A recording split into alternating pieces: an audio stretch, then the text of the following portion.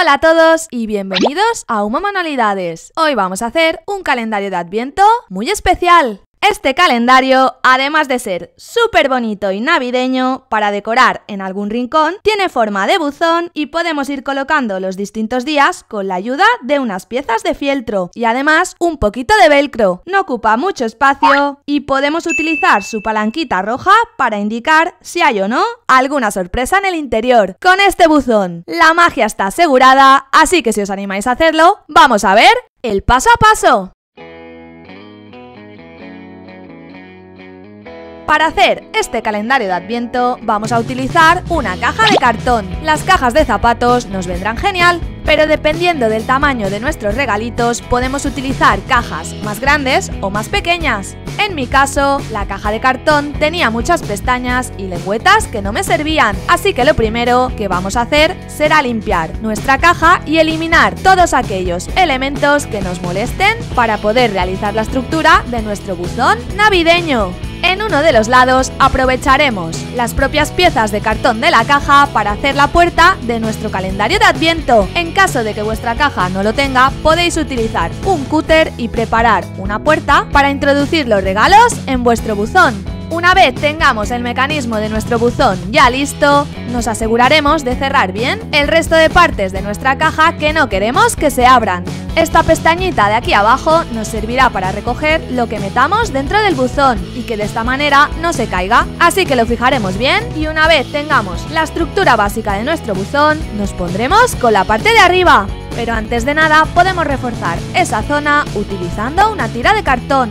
Para hacer la parte de arriba de nuestro buzón calendario de Adviento, vamos a utilizar algún elemento circular que tenga el mismo diámetro que el ancho de nuestra caja y dibujaremos en un cartón media circunferencia. En otro cartón dibujaremos la misma pieza otra vez y dejaremos un margen de aproximadamente 2 centímetros en la parte de abajo. Esto nos servirá para poder doblarlo y que se sujete sobre nuestra caja de cartón. A continuación, buscaremos un cartón que sea un poquito más finito y que podamos moldear y darle forma redondeada sin que se nos rompa. Cortaremos un rectángulo del mismo largo que el tamaño de nuestra caja y de ancho nos fijaremos en el contorno de las dos piezas circulares que acabamos de recortar. Con mucho cuidadito iremos presionando para que coja la forma circular y a continuación marcaremos en cada uno de los extremos una franja de aproximadamente un centímetro para hacer unas pestañas que nos sirvan para poder unirlo mucho más fácilmente a las piezas circulares que hemos hecho antes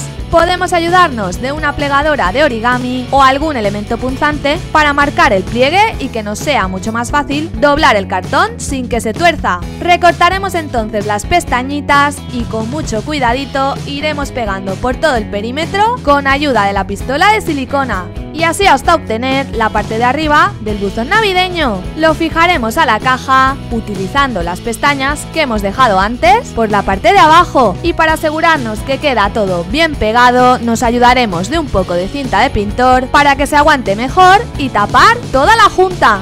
Y una vez tengamos lista toda la estructura, nos pondremos manos a la obra a decorar y a darle ese aire navideño que tanto nos gusta. Para hacerlo, nos vamos a ayudar de algunos papeles de regalo con estampados y colores que respiren Navidad. Iremos fijando todo el papel utilizando pegamento en barra para toda la superficie y fijaremos los sobrantes con la pistola de silicona. De esta manera nos vamos a asegurar de que queda bien sujeto y no se mueve. Para la parte delantera del buzón hemos utilizado un papel súper bonito y para todo el lateral hemos utilizado otro diferente, pero vosotros podéis hacerlo como más os guste. Por cierto, tengo que dar las gracias a todos los que me seguís y me dejáis comentarios tan bonitos. Sin duda me dan un montón de energía para seguir y además me hacen muy feliz. Así que un super abrazo y muchísimas gracias. Si acabáis de encontrarme y os gusta lo que veis, os animo a formar parte de esta familia de curiosos de las manualidades y a darme un like. Me encantará veros por aquí en todos los vídeos. Seguiremos cubriendo todo el cartón con papel y nos pondremos a decorarlo y a disimular aquellas partes más feuchas. Para tapar las partes más feas de la solapa y también para destacar la puerta de nuestro buzón, recortaremos una tira de foamy rojo que pegaremos en la parte de abajo de la puerta de calendario de Adviento. En la parte de dentro, para que se pegue mejor, podemos utilizar unos imanes para que la puerta cierre bien a modo de tapa. Utilizaremos una cinta que sea bien bonita para tapar las juntas y delimitar todo el perímetro de la parte frontal del buzón navideño. También decoraremos la pestañita interior para tapar el cartón que todavía se ve y para terminar utilizaremos un poquito de puntilla para acabar de decorar la puerta del buzón. Con un trocito de foamy de color rojo haremos la pestañita tan característica de los buzones y que nos servirá para saber si el buzón está lleno o está vacío. Lo colocaremos en el lateral haciendo un agujero directamente en el buzón con la ayuda de un punzón. Le pondremos una piececita de estas para encuadernar y lo sujetaremos abriendo por dentro las dos pestañitas metálicas para que se sujete y nos permita levantar y bajar la palanquita roja. Una vez tengamos todo esto listo, nos pondremos con los números que vamos a hacer utilizando fieltro en colores que combinen perfectamente con los papeles que hemos seleccionado. Podemos utilizar tijeras de formas para darle un toque más divertido a esos números y jugando con los distintos tonos podemos ir creando toda la numeración, también combinando diferentes formas. Les colocaremos por supuesto un trocito de velcro en la parte de atrás y ya los tendremos listos para ir cada día en nuestro calendario de Adviento. Le colocaremos el otro trozo de velcro en la parte de la puerta y terminaremos de decorarlo utilizando distintos elementos.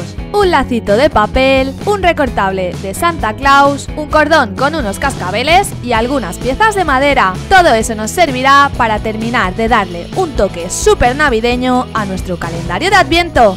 Y hasta aquí la manualidad de hoy. Espero que os haya gustado este calendario de Adviento y sobre todo que lo pongáis en práctica. Contarme en comentarios y dejarme un like, compartir si creéis que a alguien le puede interesar y no os perdáis ningún vídeo de manualidades de Navidad. Nos vemos en el próximo con muchas ideas más. Adiós.